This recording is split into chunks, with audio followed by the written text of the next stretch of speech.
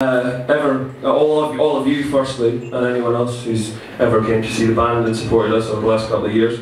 Anyone who's bought an album, bought a T-shirt, anything like that, thank you very much.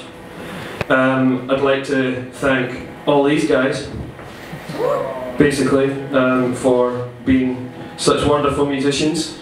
Their chat is terrible, like, like it's really bad. But you know they play well enough, so it's fine.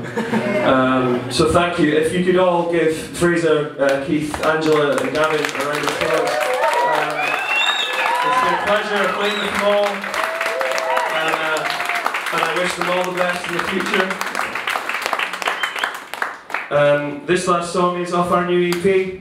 Um, it's quite fake, we think.